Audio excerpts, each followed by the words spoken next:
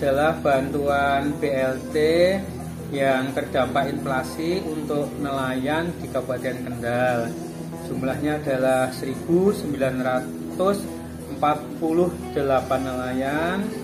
Eh, setiap nelayan mendapatkan 300.000. Secara prioritas kita prioritaskan yang mendapatkan adalah yang lelang di TPI sehingga nanti e, bisa digunakan nelayan untuk mencukupi kebutuhan pokoknya sehari-hari.